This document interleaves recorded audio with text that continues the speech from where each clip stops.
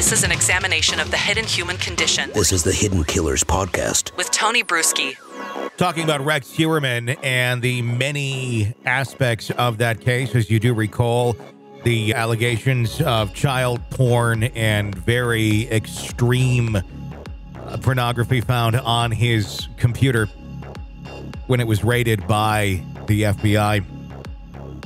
What I'm wondering about is that's pretty damning unto itself. Like that will get him put away probably for the rest of his life on its own. Will that be through the trial for the murders? Or is that a whole separate charge and a whole separate case? Can that all come into the fold of the whole picture of Rex Heuermann? That's something we're going to talk about here with attorney Eric Faddis, former felony prosecutor. Eric, let's let's start here though. It's got to be going through your mind uh, trying to play it out wondering uh, once this makes it to trial if it makes it to trial, what direction do you think the defense could possibly take on this given the information that we know thus far? Yes, yeah, it's a bit of a head scratcher. And like you said, there's so much information rapidly developing.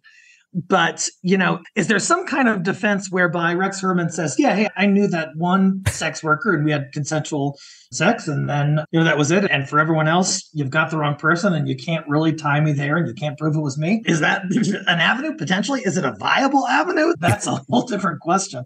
And, you know, the, the defenses are starting to kind of go by the wayside as more and more evidence comes forth against Rex Heuermann. Yeah. And so, uh, what is that defense going to look like years down the road? Difficult to say now, but I think that his options are beginning to dwindle. Yeah, getting very limited.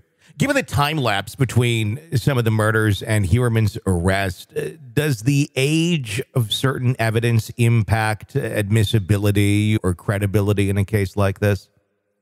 You know, I think the age of some of the evidence is a big factor.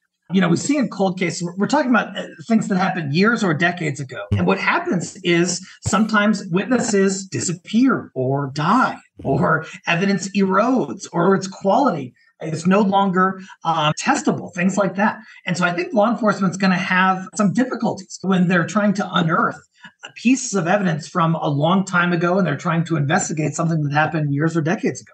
Is this going Uh, to be? so that's going to be a challenge. Yeah. Is this a case where it's going to be difficult to get key witnesses on the stand if it goes to trial, especially just discussing the nature of what this is? If we're talking about sex workers and getting them to testify against him, I know we've seen a, a one or two that have come out and said they've went on a date with him and how odd he appeared or seemed. But to get someone who maybe actually had some sort of a negative encounter, maybe where it went too far or he attempted to take it further, just because that means they're going to have to go on the stand. They're going to have to identify themselves as a sex worker. And we're talking this could have been 10 years ago. Some people get into that area out of desperation. They get out of that area, have to go back and say, yes, I did this at this point in time.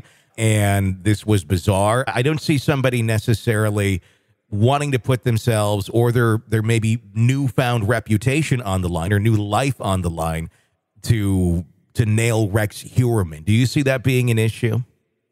Oh gosh, I feel you. Yeah, I, I think that that's going to be problematic for the prosecution because, like, like you were sort of alluding to, there can be kind of a code of silence among some of these illicit industries. It's that way in the drug scene, in the gang scene, and in the sex worker scene, where you don't tell on other people, you don't disclose information to the police, you don't go help them because that could result in retaliation to you. Now, this situation is a little bit different because, like you said, these events happened so long ago, and does the notoriety and the potential fame of this case perhaps persuade someone to come forward and share information? It might.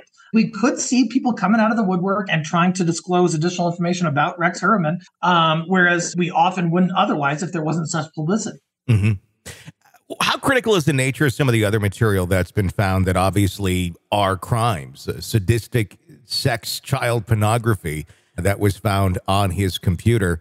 I- Is that something that obviously it's going to weigh on a jury? I'm sure it's something he'll be probably charged with in terms of considering if he was capable of also committing murder, not just looking at sadistic porn and child porn, horrible enough in itself, but will that in itself be a key factor in really kind of painting the picture of who he was? That remains to be seen. I'm, you know, of course, this alleged child porn. I, have just only read reports naturally, but mm-hmm. that it was horrible and violent and everything else. And that in and of itself is a crime. Rex is going to have to answer for that uh, in and of itself. But I suspect that his defense is going to seek to bifurcate or separate anything related to the sadistic child porn piece from the murder charges. I think his defense is going to say, hey, look, it's too inflammatory, it's too prejudicial, and it's not really related to some allegation that he met with a sex worker and, and murdered an adult, at least not without more information linking the two events. Do you see that being dismissed by the judge and saying, yeah, we don't have to put that into this murder trial? Or is everything just too dark and really the context is too important at this time to just say, nah, that's something different? I wouldn't be surprised if a judge looks at this and sides with Heuermann on that issue. Yep. To be honest with you, judges don't want to get reversed. Okay. One huge way to get reversed is by bringing in prior bad acts evidence, like this child porn stuff, that is not directly related to the charges the defendant is presently facing. And so, you know, remains to be seen. But I could see a judge siding with the alleged serial killer here on this gruesome child porn aspect. And a 10,000 foot view of this as an attorney, are there any aspects of this investigation that you watch and go, that looks like it's being handled really well? Or are there any areas that you've seen this far that you go, we can poke some holes in that really wasn't handled quite as up to the expect expectations that we should have? You know, in reviewing the reports that I've read, one thing that does stick out at me is this multi jurisdictional investigation with all these moving parts, these different agencies. Oftentimes, those agencies aren't talking to one another and they're not using the information one agency has to assist the second agency. When I was a prosecutor, I saw this all the time. Yeah. And saying, hey, why aren't you guys communicating and sharing information? And so perhaps the law enforcement shoots themselves in the knee in some of these, in the breadth of some of these investigations. And perhaps defense can try to find some kind of avenue within those shortcomings to, to try and assert Mr. Heuermann's rights, but a little cloudy as of yet.